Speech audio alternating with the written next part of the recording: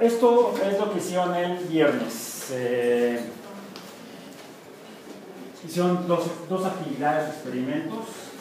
El primero oh, mezclaron cloruro de sodio con agua, cloruro de potasio con agua, sacarosa con agua. ¿Sí, sacarosa? Sí, ¿verdad? Etanol con agua, acetona con agua y ácido acético con agua.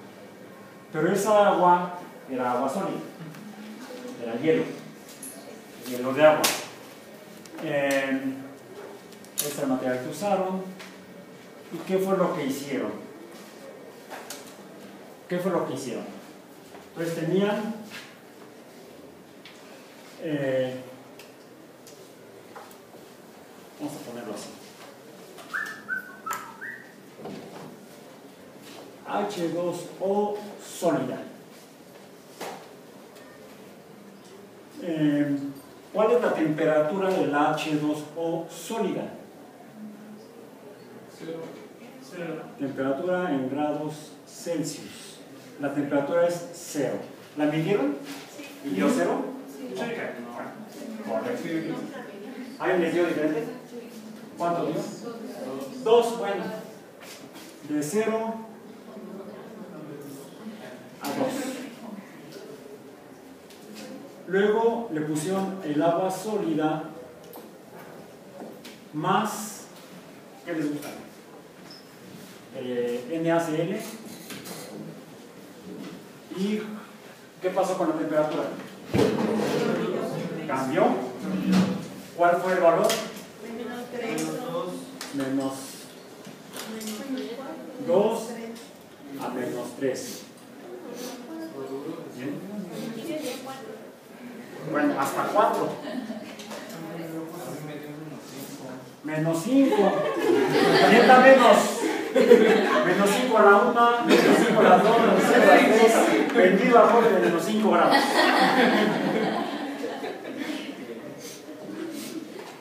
Ven, a veces menos es más. Eh, H2O sólida más, ah, por cierto, el cloruro de sodio también era sólido, ¿no? H2O sólida más KCl también sólido. ¿Qué pasa con la temperatura? Menos dos, menos dos. Menos 2 a menos, a menos 3. Eh, H2O, ahora qué le ponemos? Sacarosa. También sólida. Temperatura Cero. De 0 a menos 1. Eh, H2O sólida más etanol. ok. Etanol líquido, por cierto.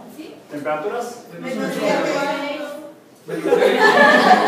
cuánto? Menos ocho. Menos 8. Menos seis. Menos 1. De menos 1 a menos 8. H2 sólida más Acetona. acetona. Líquida. Menos cinco. Menos 6. Menos 4. ¿Alguien da más? ¿No? Eh, H2O sólida más ácido acético. Menos ocho. Menos cuatro. Menos 8. Menos 4. ¿Alguien dio más? ¿No? De menos 4 a menos 8. Algo interesante es que estas tres son compuestos orgánicos, son moléculas de carbono, compuestos de carbono. Y por cierto, con el mismo número de átomos de carbono. Dos, no me digas, no tiene tres. Sí, el etanol es CH2, CH, perdón, CH3, CH2 o H. Eh, la acetona acetona o propanona. Acetona es CH3COCH3. Está carbono unido por, bueno, oxígeno unido al carbono por dos enlaces. Em, y el, ácido acético es CH3CO2H. Estos dos son de dos carbonos, esta es de tres carbonos. Esta tiene un oxígeno, esta tiene dos oxígenos. Los pesos son parecidos, salvo que el etanol es un poco más ligero, menos masivo. En su peso, en su masa molecular. No, no pesos, masas, masas, masas. El problema es que los químicos hablan de pesos, los físicos hablamos de masas. Yo como soy físico-químico hablo de P masa. ¿P masas? No sé, no sé de qué hablo. Entonces, hablemos de físico-química biológica. Física biológica, de hecho es física biológica. Porque estamos viendo solamente cambios en la... No en la naturaleza de la materia, es decir, no hubo cambios cuando pusimos flujo de sodio con el agua. Tal vez hubo un pequeño cambio, pero ahorita no lo vamos a considerar.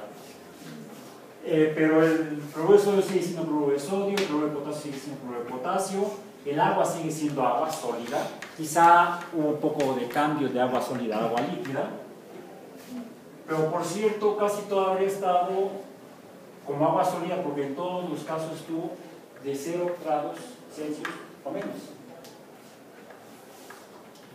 Y de hecho, ¿qué pasó cuando le pusieron algo al agua sólida? En general, ¿qué sucedió? Que la temperatura disminuyó. Disminuyó su calor. La cantidad de calor disminuyó. El siguiente experimento fue agregarle, en este caso fueron esta, esta y el ácido acético, con esta, esta y esta. ¿También con sacarosa? ¿Lo, lo hicieron ebullir? No, ¿verdad? Bueno, era lo de menos. Eh, esta le llamamos temperatura de fusión, temperatura a la cual se transforma de sólido a líquido, a la cual se funde. La siguiente había sido la temperatura de ebullición en grados Celsius. ¿Cuál fue el caso del agua? Sola ya la había medido, ¿cuánto les dio, les dio en el experimento anterior? 90, aproximadamente 90. Aproximadamente 90 grados, esa es la temperatura a la que ebulle en la Ciudad de México el agua. Vamos a poner aquí ebullición. Eh, ¿Cuál fue la temperatura aproximada de ebullición del agua con sodio? 74. 73 a 74. ¿Alguien dio más? ¿Alguien dio menos? 72. 76. 76, 72, entonces le bajamos uno aquí y le subimos dos acá. 70 de 72 a 76 grados Celsius. ¿El agua con cloruro de, potasio? 70, 74. ¿Alguien dio menos? 73.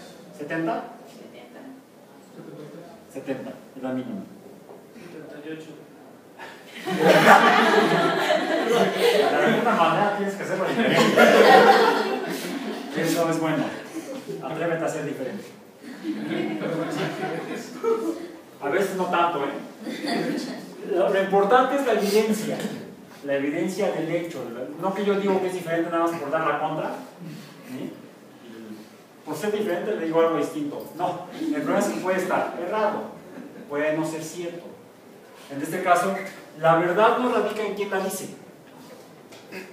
O vamos a decir, la realidad en física, en ciencia, no radica en quién la dice.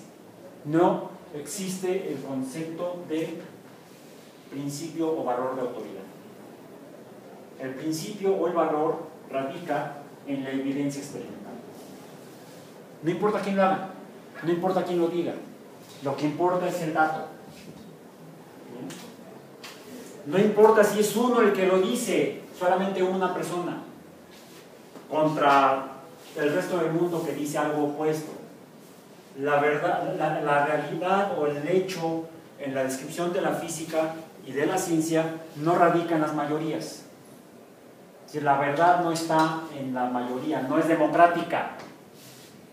La verdad radica en el dato, en el hecho, que se tiene que verificar. Conforme más lo van verificando, se va ratificando el hecho real. Contra la opinión de quien diga algo distinto, sin sustento en el dato. Es así como se construye el conocimiento con base en ciencia. La verdad radica en el dato, en el experimento, no en la mayoría ni en quien, lo dice. Quizá en un principio sea uno el que diga, pues es que mi dato dice que es esto, lo repetí 10 veces el experimento y sale diferente. Y aquí están los datos, aquí está el cómo, incluso el método, la metodología y la técnica usada, cómo lo hice. Háganlo ustedes para eso nos reunimos en congresos, simposios, coloquios, reuniones científicas. Para eso lo publicamos en revistas o en libros, para que los demás lo puedan conocer y lo puedan repetir y puedan afirmar o que tenemos razón y estamos en lo cierto o que estamos equivocados. ¿Sabes quién me dice la pata hasta acá? ¿Por qué? Ya lo verifiqué, revisa tus reactivos, probablemente pueden haber estado contaminados. La instrumentación puede haber estado fallando, por eso se tiene que verificar. A veces los datos que obtenemos en el laboratorio son errados, son falsos, falsos por alguna falla en el, trabajo experimental. No es por mala fe o porque el científico sea mentiroso, no, a veces porque algo falló. Se corrige esa falla, se repite el experimento y entonces quizás salga el resultado igual al otro. Así debería ser si efectivamente ese fue el motivo del dato diferente muchos se han frustrado cuando se han dado cuenta que lo que pensaban que era su gran descubrimiento fue un error de laboratorio. Entonces, este, siempre hay que verificar antes de hacer soluciones. Ya no voy a ganar el Nobel. No, verifiquen antes. Eh, temperatura de ebullición del agua con ácido acético. En este caso fue agua líquida, ¿verdad? Agua líquida con el ácido acético, agua líquida con cloruro de sodio, agua líquida con cloruro de sodio y de potasio ¿Cuál fue el resultado aquí? No lo obtuvimos. ¿No lo obtuvieron? NR. NR, perfecto. No resuelto. No resuelto. Por cierto, tienen el dato del experimento anterior de estos dos. ¿Cuál es? Buscan en sus apuntes anteriores. ¿Con incendio o sin incendio? es con cariño. Nunca se va a olvidar. No, la idea es que tú no lo olvides. Eso es bueno. Yo estoy de acuerdo en los principales errores de laboratorio. Rompí celdas de cuarzo, tiré el reactivo que costaba no sé cuántos cientos de dólares encima de la mesa. Y ese fue el peor error de mi profesor montamos la técnica. Ah, ya la montamos eh, midiendo temperatura de visión de una sustancia muy común y corriente. Era, era tan común y corriente que ya no me acuerdo cuál es.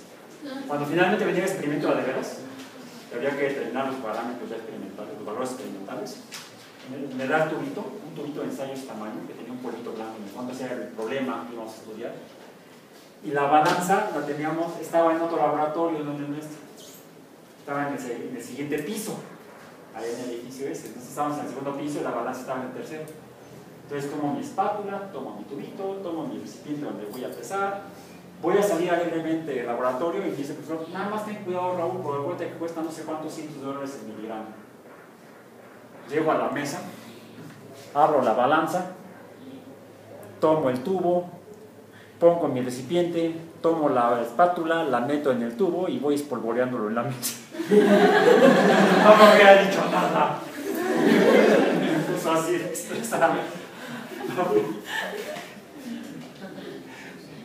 Calma antes de trabajar.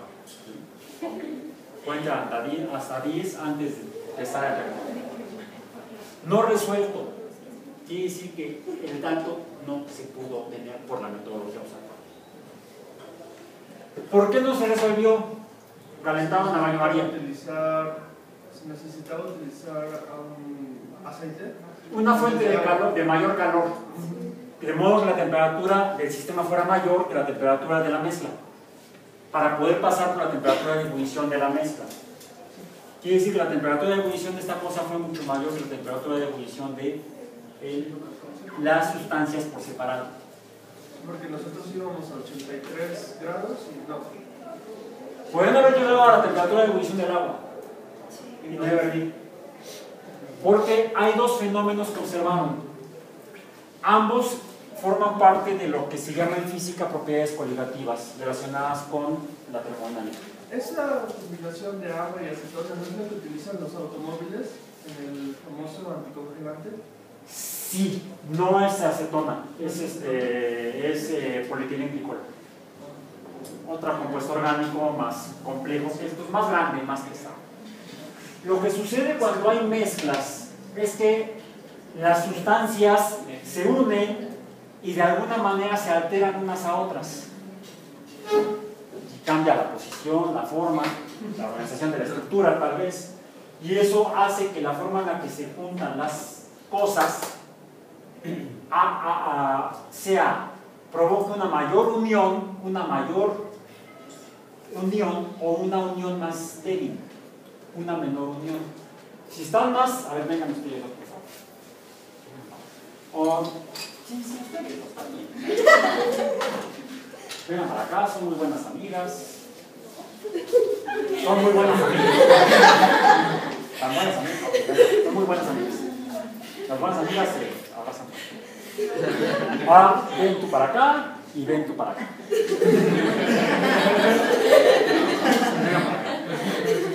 Ustedes no quieren que sean amigas.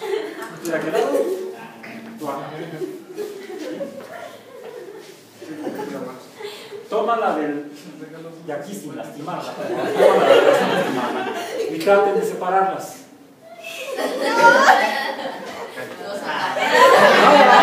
No, no son tan buenas amigas.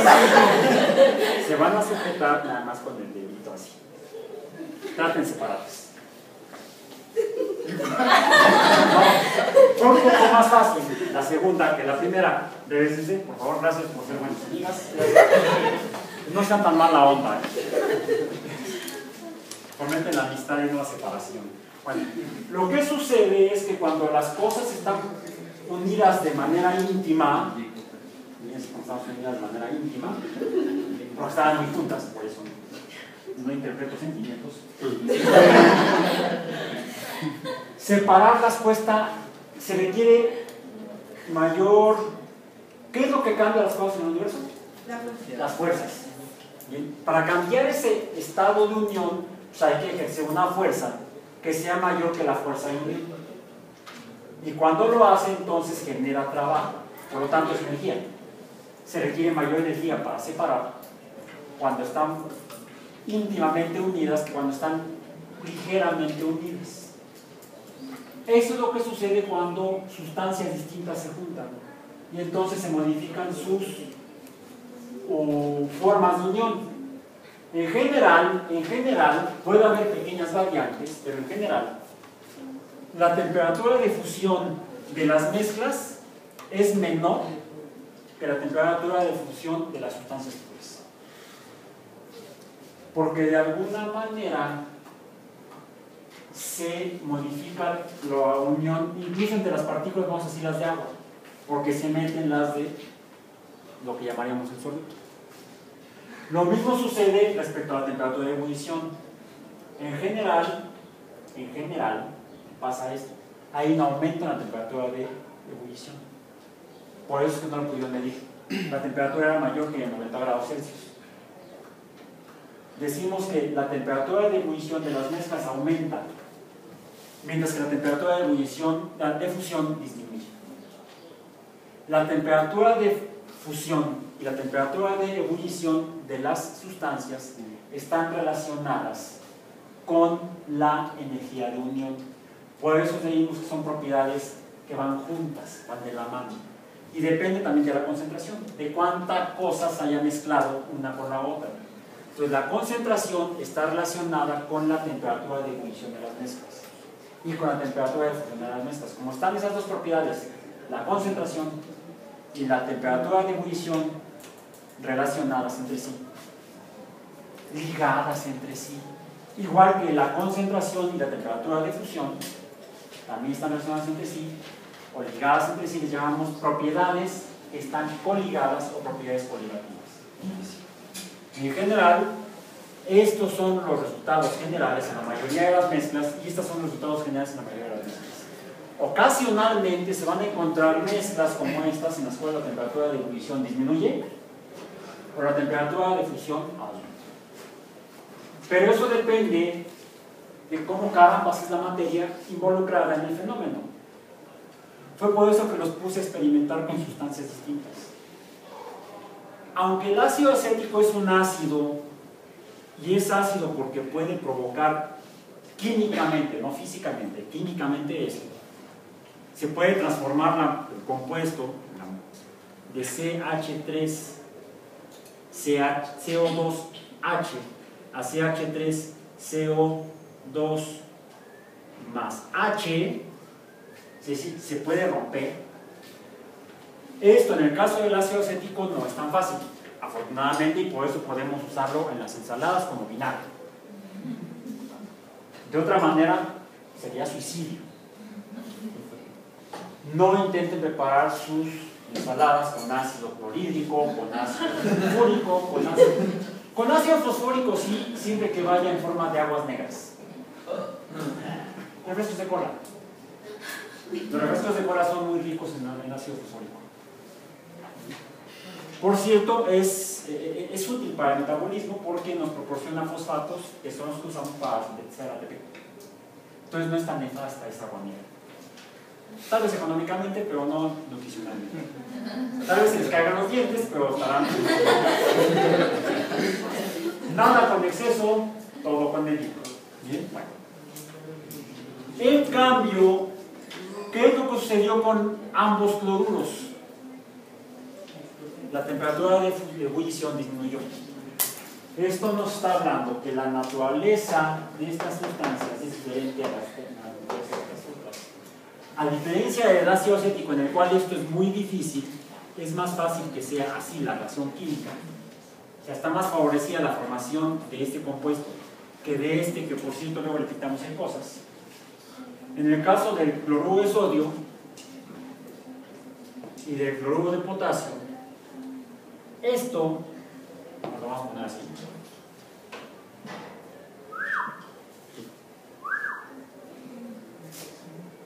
en el camino opuesto, o le llamamos reversible,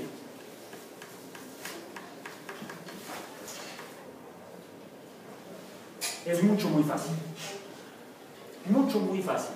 Por cierto, el parámetro que nos dice si esto es fácil o difícil es la medida de cambio de energía, la energía libre de Gibbs, esa energía libre que representamos con el letraje en los temas anteriores ese valor de cambio o delta G nos dice si las, los cambios en la materia son fáciles o difíciles.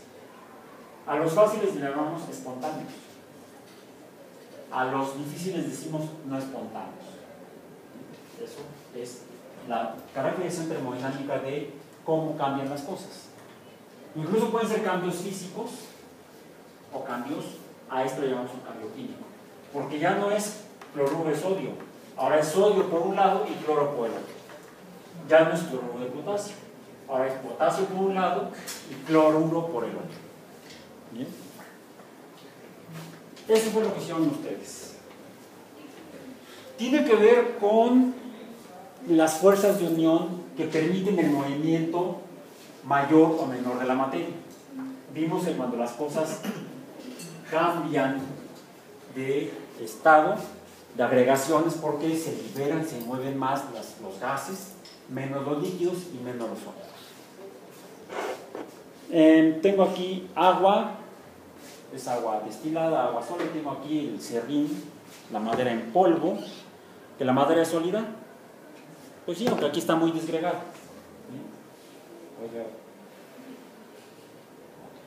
Voy a poner un poco de serrín en el vaso, que tiene agua, No es el vaso de agua, es el vaso con agua. Y déjenme ver si sale en este momento. Lo que voy a hacer es que le voy a poner energía. Le voy a poner calor con este encendedor, pero no chamuscarme aquí enfrente de ustedes. Bueno, ¿qué es lo que están viendo que sucede? ¿Flota en general? No, se empieza a hundir. Se empieza a hundir, se empieza a mojarse la madera. Y entonces, a mí me dijeron que los barcos de madera flotaban. No, son como el Titanic de madera. Por cierto, la Titanic chiquita.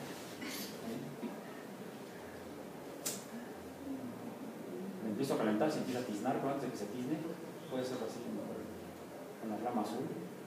A ver si luego que se caliente suficiente para que, si no, entonces, a diferencia de lo que le dicen normalmente, hagan esto en casa. En lugar de no lo hagan en casa, creo que ya está empezando a suceder. Antes de que me chamusque yo el. Lo estoy calentando por un lado. Y yo esperaría que el agua se calentara suficiente. Ah, ya está. Hay un voluntario que venga aquí a ayudarme a que, a que vea de cerca lo que está sucediendo. Rápido que se me está quemando el dedo. ¿Qué pasa con la madera? Está, está bajando. Está subiendo. Está subiendo. Sube y luego, ay, ven rápido antes de. No veo la película completa. Sube y ¿qué pasa después de que sube? Baja. Vuelve a bajar y luego vuelve a subir y luego vuelve a bajar y vuelve a subir y vuelve a bajar. Gracias. No vayas a bajar.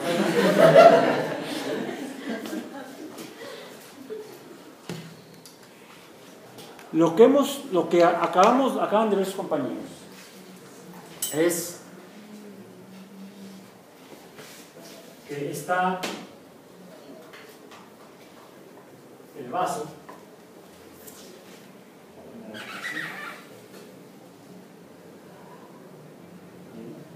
y pusimos serrín en él. Había este,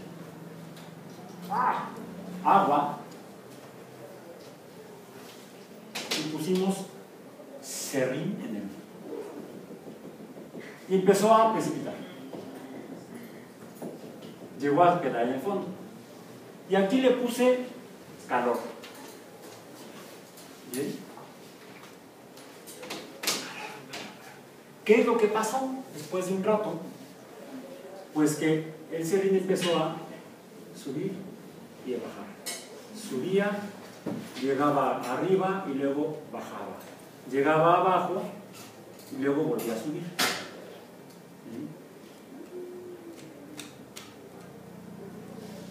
Aquí estaba con mayor cantidad de energía porque estaba caliente y aquí estaba con menor cantidad de energía. Y hemos visto que las cosas se mueven de donde hay mucho a donde hay poco.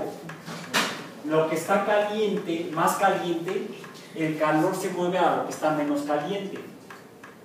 De hecho, por eso sentimos frío. El frío es la sensación de pérdida de calor.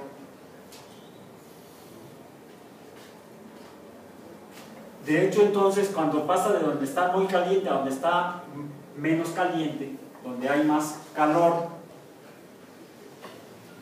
a donde hay menos calor, con minúscula, aquí estaría como diríamos en lenguaje coloquial, frío. De hecho está caliente, se empieza a enfriar y una vez que está frío, baja. Estamos entonces ahora viendo cómo es que ese calor se mueve, cómo es que va de un lugar a otro. En general en los libros de física dice que el calor se transmite por tres, de tres maneras distintas. Dicen que se transmite por, no sé, por contacto. Y esto es la transmisión del calor. Transmisión de calor. Vamos a ponerle de U, calor. ¿Correcto? Y si no es correcto, no. Por ejemplo, a ver, toca el vaso. tócalo de aquí. ¿Cómo está? Ay, estaba caliente. Bueno, ya se enfrió. Bueno, tócalo. Está caliente. Ah, lo sintió por contacto. A ver, tócalo. Tócalo. Tócalo. Tócalo. No, no puedes, no puedes. Lo puedes sentir porque el calor iría del, del encendedor a tu dedo. Pero solamente si está en contacto. Esa sería la transmisión de calor por contacto. Tendría que haber una unión física entre la materia con más calor o con menos calor. Decimos coloquialmente caliente o fría, pero físicamente no es preciso o no es lo más apropiado. Hablamos de más calor o de menos calor. Cierra la ventana porque tengo menos calor.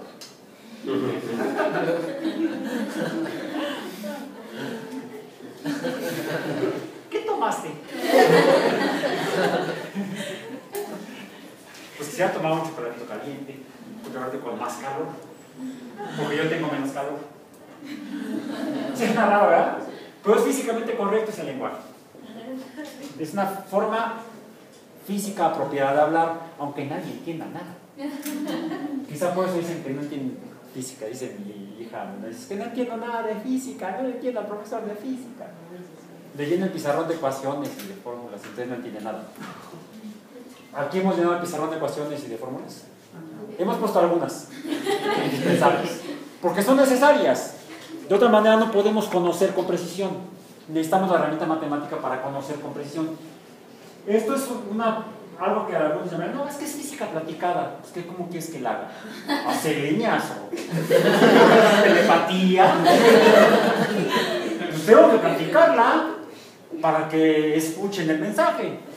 Puede ser leída.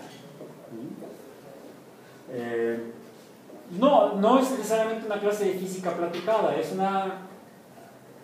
estamos tratando de entender qué caramba sucede en el mundo. Yo no entiendo qué sucede en el mundo. Por eso lo estudio. Otra forma en la que dicen los físicos que se transmite el calor es por convección.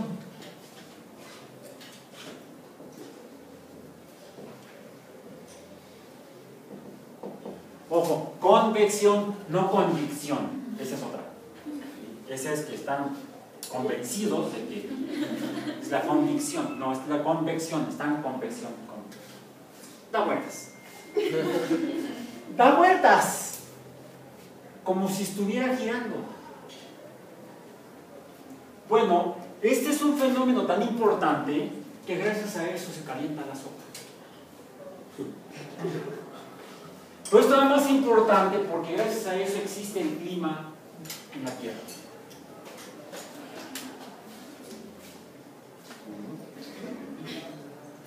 Y es una de las pruebas de que la Tierra está rotando. Una de las evidencias que no pudieron ver claramente en tiempos de Copérnico. Fue, porque fue hasta después que Coriolis descubrió que el movimiento de las masas de aire, entre ellos lo que arrastra el aire como las nubes, las tormentas, se producen por corrientes de convección, pero imaginen que el vaso se está moviendo. Si el vaso se mueve, entonces este movimiento no va a ser solamente de arriba, vamos a decir vertical, o de abajo hacia arriba, de arriba hacia abajo, quizá en forma circular o cíclica, sino que va a empezar a formar espirales. ¿Y qué forma tienen? ¿Han visto fotografías de los huracanes desde el, desde el, desde el espacio o desde arriba? ¿Qué forma tienen? Son espirales. Son espirales. Eh, entonces, eh, y las grandes masas de aire en la atmósfera se mueven en lo que se llama el efecto Coriolis. Y el efecto Coriolis se debe a dos causas. Número uno, la rotación de la Tierra. Número dos, la convección del flujo de calor de la superficie de la Tierra cuando se calienta por la radiación solar, por la luz solar, y cuando se calienta el aire que está cerca del suelo se, se calienta por contacto, de alguna manera se calienta, como el agua del vaso, como el agua de la olla donde paran su sopa, y empieza a subir. Porque arriba, a mayor altura, el aire tiene menos calor. Dice la gente, está frío. Pero en realidad tiene menos calor. Entonces, el, el, aire pasa de donde hay más calor a donde hay menos calor. Una vez que llega una cantidad mínima de calor, vuelve a bajar. Se hunde. ¿Por qué se hunde? Porque la madera terminó hundiéndose. Porque al mojarse, cada granulito de serrín tiene ahora la masa propia que tiene la madera más la masa del agua. Hay una cantidad que le cambió. ¿Cuál es? Ya la hemos hablado antes. Es una cantidad derivada. La densidad. La densidad de cada granulito de serrín es mayor que la densidad del agua y por eso se hunde. O se hundió el Titanic. Y cualquier barco se hunde porque su densidad cuando le entra agua es no, no igual a la del agua. Es la del agua más el material del que está hecho el navío y por eso se hunde. Su densidad es mayor que la del agua y por eso se hunde. Si la densidad es menor que la del agua, no se hundir. Intente hundir un barco de un diésel. La más difícil. No imposible, pero más difícil. Bien. Entonces, el agua o el serrín menos caliente es más denso que el agua y entonces se hunde. Cuando llega a la parte inferior, el serrín y el agua son menos densos y entonces sube. También a eso se debe que no solamente haya el clima en la, en la, atmósfera, en el planeta Tierra, sino que haya un clima subacuático, un clima submarino. De hecho, eh, cuando ustedes, si tienen la oportunidad de bucear, se van a dar cuenta que cuando están a unos 20 o 30 metros por debajo de la superficie del mar, conforme van bajando más, de repente el agua está más fría. ¿Por qué será? O menos caliente. ¿Por qué? Porque los rayos del sol... Porque ya no, ya no llega tanto calor de la, de la luz del sol más abajo. Sin embargo, van nadando, van nadando horizontalmente así. Y de repente de repente sienten que se les calienta la cabeza, y no porque les están dando malas ideas. Se les calienta la cabeza y luego, el, luego el torso, luego el, vientre y luego las piernas. Y van nadando horizontalmente, no verticalmente. Porque lo mismo sucede de las corrientes eh, tipo Coriolis. En la atmósfera también las hay en, la parte, en el agua hay movimientos constantes de agua, tanto horizontales como verticales, como diagonales, como las corrientes de eh, Coriolis. Pero abajo del agua, abajo del agua, en los océanos, hay clima. Un clima que depende de la densidad del agua, cuya densidad depende de la cantidad de calor que tiene el agua. Y está en constante movimiento. Eso a su vez genera, además de por otras causas, las corrientes subacuáticas, las corrientes marinas de las cuales depende a su vez el clima en la superficie de la Tierra. Y es tan importante que por eso Europa, aún estando a la misma latitud que Canadá, o el norte de los Estados Unidos, tiene un clima, es decir, un patrón meteorológico muy parecido al que tenemos en la zona intermedia de México los europeos se van a tomar a pasar el verano o el invierno incluso al Mediterráneo, a las costas de Italia, de Grecia, de España, de Francia, en el Mediterráneo, porque el agua está calientita, porque las playas son agradables, y no se van a Noruega, Suecia, hace frío. De hecho, los, suecos y los noruegos, las suecas y las noruegas viajan al Mediterráneo en invierno. Algunos se vienen a México, otros se van al Mediterráneo. A pesar de que está Revisen un mapa de la Tierra, o un, planisferio, o un globo terráqueo. Van a ver que Europa está más al norte que México. el clima en el sur de Europa es muy parecido al clima, por ejemplo, en el Golfo, en el Caribe. Estando más al sur, más cerca del Ecuador. ¿Por qué? Porque estas corrientes térmicas, corrientes de calor en el agua, llevan agua caliente del Atlántico a Europa. Si esas corrientes se modifican, ¿qué sucederá? Que aumentará el turismo en, México, por ejemplo, en el Caribe, porque el Mediterráneo se. El clima en Europa cambiaría. Sería mucho más frío, como lo fue en la última glaciación. Esa puede ser una de las consecuencias del cambio climático que actualmente, que está afectando las corrientes este, térmicas en los océanos. Ahora, hay una tercera forma en la cual el calor se conduce. Por contacto, por convección, y ya la mencioné. ¿Eh? ¿Por radiación? Por radiación. ¿Y qué es la radiación? Es algo es algo que para poder entenderlo vamos a regresar a hablar de mecánica, de movimiento. No de este, no, sí. De hecho, desde aquí, desde la convección, que es un movimiento cíclico.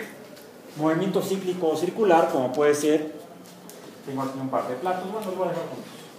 Si pongo estos platos aquí y los, ay, se van a caer solos, los pongo, pero no es que se caigan, más o menos ser uno. Puedo yo desplazarlo ¿Y qué es lo que va a suceder? Es más, para que se vea claramente, vamos a poner una marca a este plato. Es una marca negra en el fondo. Aquí, voy a poner un punto. Una mancha, más que un punto. Está arriba. ¿Qué pasa si lo desplazo hacia la derecha? Ahora, ¿dónde está? Abajo y luego está arriba, regresó hasta arriba. Pero el plato, ¿cómo está moviendo? Tiene dos movimientos. Uno, un movimiento circular y otro, un movimiento de traslación. Bueno, comencemos con el primero, es un movimiento circular. La marca estaba arriba y pasó a estar abajo. Y luego estuvo otra vez arriba. Movimiento circular.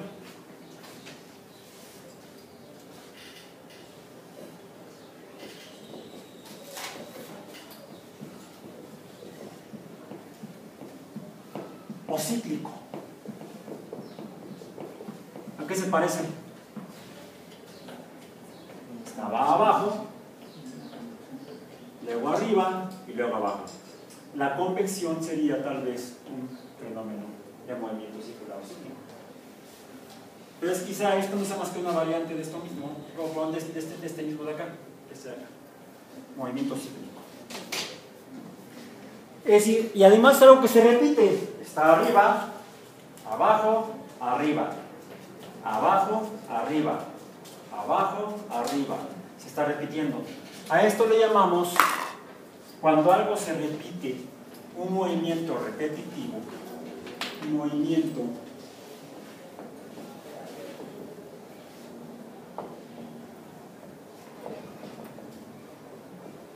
repetitivo le llamamos movimiento periódico. Y a cada ciclo, a cada vuelta, a cada regreso al punto original, le llamamos periodo. Un periodo entonces también puede ser un intervalo en esa variable a la cual llamamos tiempo. Tiempo, tiempo. Y vamos a ver, tiempo, tiempo, tiempo. Tiempo. Vamos a buscar aquí unas imágenes. Esa la vemos después. Vamos a poner. Vamos a poner esta de aquí. Hay muchas imágenes aquí. Muy interesantes algunas de ellas. Eso. ¿Eso qué es? Vemos un perfil urbano tiene un edificio. ¿Qué se ve ahí? sol, un perfil urbano. Acá sigue el perfil urbano. Ok. Y ahí está el sol, ¿no? Es el sol. Busquemos otra imagen similar. Tengo aquí varias veces. Mm, mira, aquella. Vamos a tratar de ponerla. ¿Hay alguien que me eche la mano dibujando el sol? Por favor, allá. Voy a tratar de acoplar esta imagen. Ahí está. Porque es más o menos la misma escala. ¿Dónde está ahora? Ah, vale, que estoy quemando con el proyector. No, no, no. El nuevo sol. En la nueva, en la nueva imagen. ¿Dónde está el sol? Ahí está el sol. Ahí, ahí. No, del lado derecho. A la derecha. Ahí está. No. Fría, fría. Ahí, ahí, ahí, ahí, píntalo. Ok. Vamos a buscar otra porque el proyector está calentando mucho hablando de calor.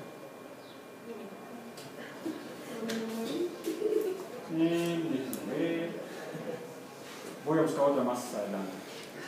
Ah, ahí está. Ahora, ¿dónde está? ¿Ahí? Ahí, ahí, píntalo, ahí, píntalo. ¿Así o todo? El circulito, el circulito. Ok. Vamos a buscar otra.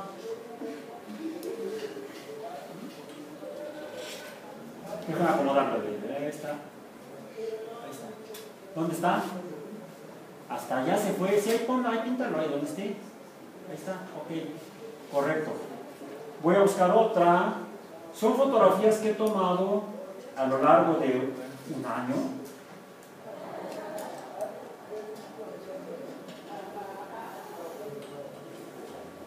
No es en otro lugar. Sí, son estos edificios. Gracias. No, aquí no se ve bien. Aquí no se ve. Esta sí. Esta es posterior. ¿De ahí? Eh, ahí. Es aproximado. Es aproximado. Luego otra. Vamos a ver otra por acá. A ver si tengo otra. El problema es que luego está nublado y entonces ya no tomo la foto. Este año, por cierto, estaba muy nublado en las tardes. Estas fotos las tomo yo eh, por la tarde. Miren esto. Se alcanza a ver un poco. Este, fíjate dónde está más iluminado. A la derecha de donde pintaste el anterior. Por ahí. Por ahí está el sol. Por ahí pinta donde más o menos. Ok. Déjenme ver, se fijan, está muy nublado. Más adelante, otra, otra, otra, otra. No, ya no hay otra. No, eso fue, eso es otra. Eso fue, eso fue en la mañana. Vamos a sacar. Bien. ¿Qué es lo que estamos viendo? En realidad este, estaba un poco despistado porque estaba por acá. ¿eh? Este está acá. Vamos a poner más chiquito este. Este aquí, este acá. Son fotografías tomadas en diferentes fechas. Desde la misma posición, yo estoy tomando la foto desde la misma posición, hacia el mismo lugar de la ciudad. Hacia, si es por donde dicen que se pone el sol, no sé dónde se ponga. Donde se mete, no sé a dónde se mete, yo no, me meto en su vida. ¿Qué es lo que observan? El sol se mueve. Por eso no le creían a, a- a Copérnico hace 500 años. El César Sol es el que se mueve, no la Tierra. Yo no siento que la Tierra se mueva. Y además, si vemos la posición del Sol a lo largo del día, también sí parece que se mueve.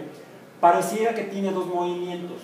Uno, diur- diario, circadiano le decimos, de un día. Sale, sube, baja, se mete, no se va. Ta, ta, ta. Parece que está haciendo un movimiento alrededor nuestro. Primer movimiento. Segundo movimiento. Si yo veo en la mañana por donde entre comillas sale y en la tarde por donde entre comillas se mete, lo que veo es eso. Hacia acá es el norte y hacia acá es el sur. A lo largo del horizonte, sobre el oriente u occidente, west. Entonces, va de norte a sur en diferentes épocas del año. Y además no solamente eso, va, viene, va, viene de norte a sur cada año. Es más, eso es un año. ¿Cómo descubrimos qué es un año? ¿Cuánto es un año? Es un periodo en el cual el Sol recorre de aquí hasta allá y regresa en 365 aproximadamente y un poquito más ciclos diurnos del Sol. O sea, ese ciclo o círculo que parece alrededor de esto es al que llamamos. Está allá, acá arriba y luego allá y luego otra vez. ¿A eso cómo lo llamamos? Día. Día. Entonces, tenemos ciclos o periodos llamados días. Tenemos ciclos o periodos de 365.25 de esos, o 365 y un cuarto de esos, que es lo que tarda el Sol en verse desde aquí hasta acá y de regreso. ¿A ese cómo lo llamamos? Año. Parecería que es el viaje del Sol por el horizonte. En ambos lados, en el oeste y en el este. Em, entonces, hay fenómenos repetitivos en la naturaleza. Unos son los días, otros son los años. Hay otro objeto que también podemos ver en el cielo. También tengo aquí imágenes de ese. Bueno, está- estaría este, así como. Bueno, uno sería el sol, otro sería la luna. La luna también la podemos ver, la nota como una pelotota cuando alumbra el callejón, decía el poeta. Cuando la luna se pone grandotota como una pelotota y alumbra el callejón. Yo hice algo de un gato gordo, ¿no? Ah, aquí está.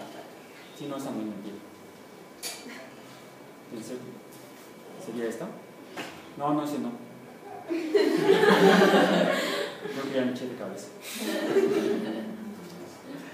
Bueno, este es el sol, aunque ustedes no lo crean.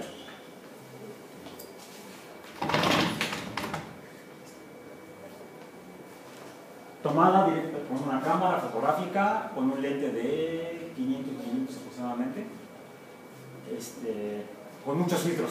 O se ve azul, no se ve amarillo, tampoco se ve blanco, porque tiene muchos filtros.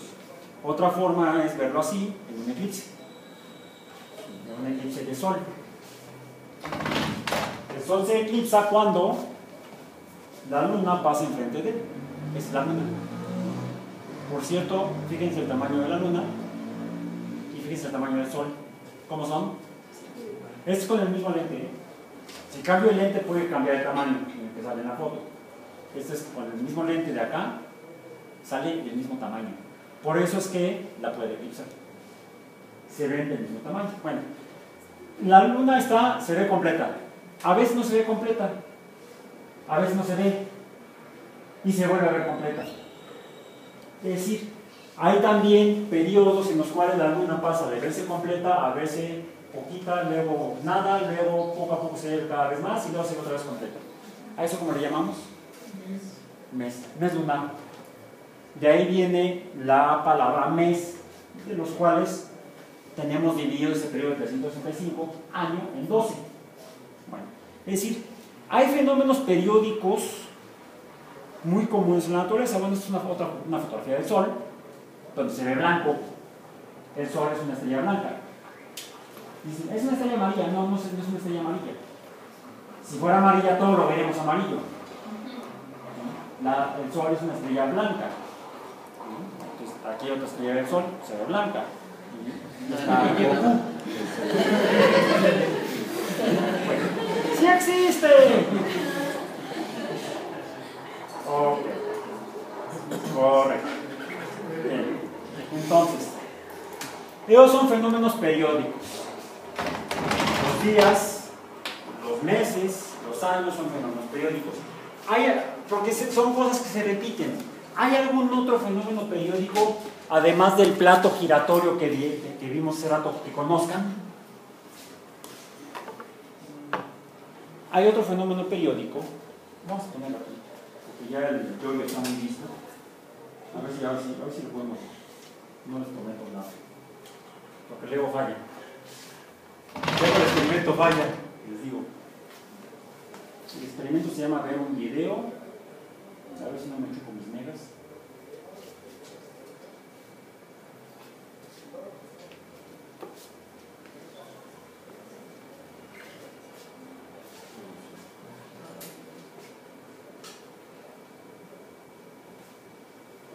Son varias esferas, parece una cuna de Newton, pero ¿en qué se diferencia? En que están a diferentes alturas. La longitud del cordón varía.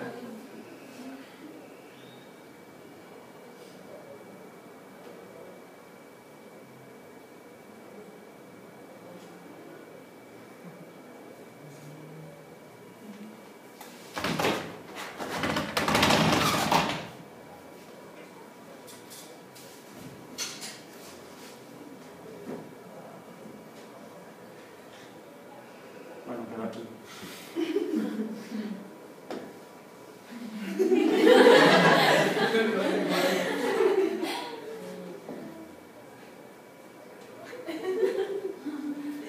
Ok. Lo que estoy tratando de. Ah, por cierto, aquí esta queda aquí. Esta queda aquí. Esta queda aquí. Pero si yo midiera la, la longitud o el cambio de posición en función del cambio del tiempo, ¿qué notaría? Por cierto, el tiempo sería, medimos el tiempo con, por medio de periodos, días, meses y años. ¿Bien? ¿Ok? Medimos el tiempo de esa manera. ¿Puedo medir el tiempo de alguna otra manera? Como lo hizo Galileo. Tomen sus dos dedos medio e índice, pónganlos a un lado de la tráquea, del gañote. eh, es más, no, no la tráquea, la tráquea está adentro. De la laringe, más bien, de la laringe. ¿Y qué sienten? El pulso. El pulso. Es segundo. El pulso de una persona adulta promedio sana de aproximadamente 70 kilogramos, entonces yo no entro en eso, es de aproximadamente en reposo, está tranquilo, sin estrés, o sea, no vive en México. Este, su, su periodo en el que se repite cada pulsación es aproximadamente, cada pulsación está separada por un intervalo al que llamamos un segundo aproximadamente. Fue la manera en la cual Galileo estudió estas cosas que se mueven así, es decir, el péndulo, y pudo determinar, pudo medir lo que tarda en ir y venir, medir, la longitud del desplazamiento a longitudes diferentes del péndulo. Y pudo determinar, cambiando incluso las masas de lo que colgaba del péndulo, que el el- las pulsaciones o el periodo de pulsaciones que tarda en ir y venir no depende de las masas, depende de la longitud del péndulo. Es decir, se parece a la caída libre. Los objetos caen igual sin importar su masa. Todos caen igual. Todos los péndulos se mueven igual sin importar la masa, así no importa que mi mano y mi brazo sean enclenques, van a moverse de esta manera igual aunque estuviera yo una masa mayor. El periodo de oscilación estoy tratando de no mover.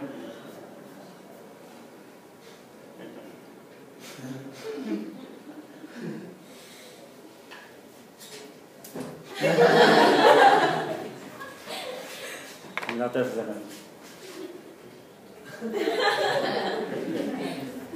Ah, ah, ah, ah, ah, oh, oh, oh, vaya. Una cosa es el movimiento pendular así.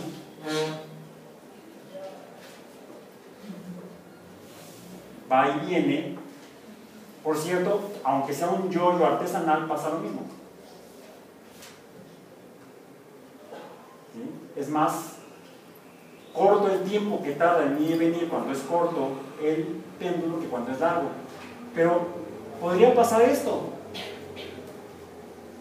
Es decir, em, ah, bueno, viene, va y regresa. Eh, es decir, finalmente el movimiento pendular no es más que una variante de qué? Y fíjense lo que sucede cuando voy acortando. Va de nuevo. No voy a mover yo, no voy a cambiar yo los periodos con los cuales esto gira. Ahí va. Bien. Lo que voy a variar es la longitud del cordel, nada más. ¿Y qué pasó? Bueno, obviamente está, cuando llega arriba tiende a gravitar. Pero en general, bueno, a ver, ahí está, más o menos constante. Lo jalo, ¿y qué sucede? Empieza a girar más rápido. Igual que el, el- periodo que le toma ir y venir al péndulo. Lo mismo sucede dependiendo de la longitud o del radio del círculo. Parece que entonces son propiedades comunes en los fenómenos cíclicos y en los movimientos como el péndulo. A estos les podemos llamar también movimientos. Es como, bueno, ya vimos que el que venga y vaya es una variante del movimiento cíclico.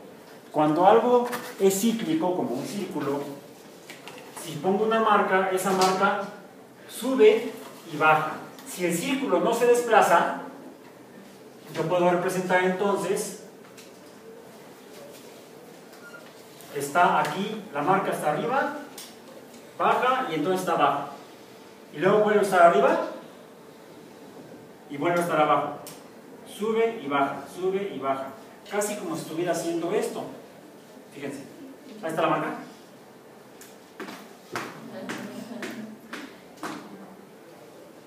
¿Eso qué es? Sería equivalente a un movimiento ascendente y descendente, como por ejemplo, si tienen un instrumento de cuerda, una guitarra, para poder tocarla, ¿qué hacen? Se le pega la cuerda.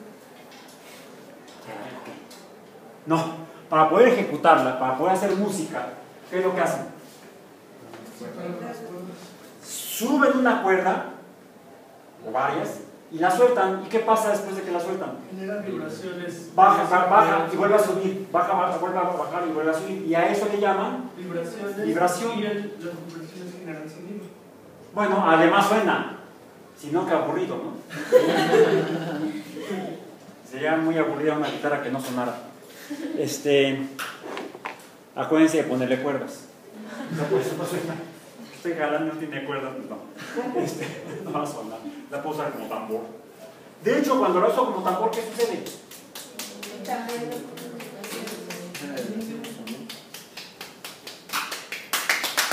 Bien, ok. Bravo, van bien. Este, entonces, tengo por un lado movimientos cíclicos. Por otro lado tengo movimientos de péndulo o pendulares. Tengo movimientos ascendentes, descendentes o vibratorios o las vibraciones. ¿Qué pasa cuando una vibración o el mismo movimiento círculo se desplaza? Luego. ¿Qué pasa? Fíjense, va a bajar, va a bajar como por acá. Y luego va a subir por acá. ¿Bien? O sea, hizo esto. Y luego vuelve a bajar, vuelve a subir, vuelve a bajar, vuelve a subir. ¿Qué lo estamos viendo ahora? No, no sé. Qué buena onda. Este, ¿Qué estamos viendo? No, no sé. Sí, ya sé que es una buena onda, pero... ah. Son ondas, estas son ondas. Y las ondas tienen partes. Mencionaste crestas. Esto sería una cresta. Y esto sería un valle. Mm, También pueden llamar máximo o mínimo. Máximo y mínimo. Cresta y valle. Eh, y esta distancia, bueno, si puede ser, de hecho, el círculo que está girando. ¿Bien? El círculo que está girando. En el punto central lo que tenemos esta distancia sería el radio. ¿no? Ahí está el radio. El radio, eh, y esto sucede cuando se desplaza el círculo. Si se desplaza el círculo, en medio queda una línea que es la del centro de movimiento circular. Y entonces tengo el radio que se mantiene en esta distancia. Entre el centro o el eje de la onda y la parte más alta o la parte más baja. A esto le llamamos amplitud. Amplitud de la onda. Esta de aquí o esta de acá es la amplitud de la onda. Y aparte tenemos la distancia que va de aquí acá. Esta es una distancia o longitud. Que sería la longitud de la onda. Bien. ¿Qué pasaría si el círculo fuera más grande? La amplitud sería mayor. La amplitud será mayor y la longitud también sería mayor. Que sería equivalente a que esto, el círculo es tal vez subiría más bajaría más, subiría más y bajaría más. Gracias. Bien. En otras palabras, sube y baja. Y si lo hace así, si se desplaza, es diferente a que haga esto. Tendríamos aquí dos tipos de ondas.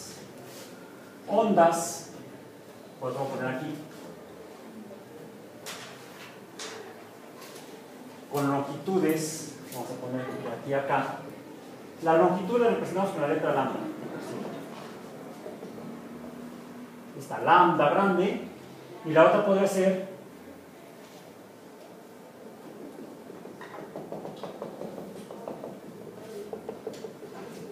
Traté de dibujarla con la misma amplitud. ¿Sí? Es decir, la altura y la mayor y la altura menor son la misma. La amplitud no la cambié. ¿Qué cambió? La longitud. Esta longitud es menor. ¿Ok? Esta longitud es menor. Entonces estamos viendo algunas de las propiedades de los fenómenos cíclicos, periódicos, ondulatorios, vibratorios, que son variantes de lo mismo. Y entonces van a tener estas cosas, todos ellos. Va a tener la amplitud que sería qué, tan, qué tanto vibra en cuanto a la distancia que desplaza la vibración. La longitud, ¿de qué dependió? de qué tan rápido sube y baja. ¿Qué tan esto o esto? Sería como si el círculo gira rápida, rápido o si gira despacio. Si el periodo es corto o el periodo es largo. El día es más corto que el año, salvo en la luna.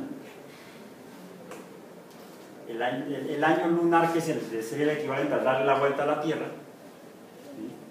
Orbita alrededor de la Tierra, no alrededor del Sol. El año lunar sería el tiempo que tarda en girar alrededor de la Tierra. Es el mismo que tarda en rotar sobre sí misma, que sería el día. Entonces, el día en la Luna dura lo mismo que su año, vamos a decir su año alrededor de la Tierra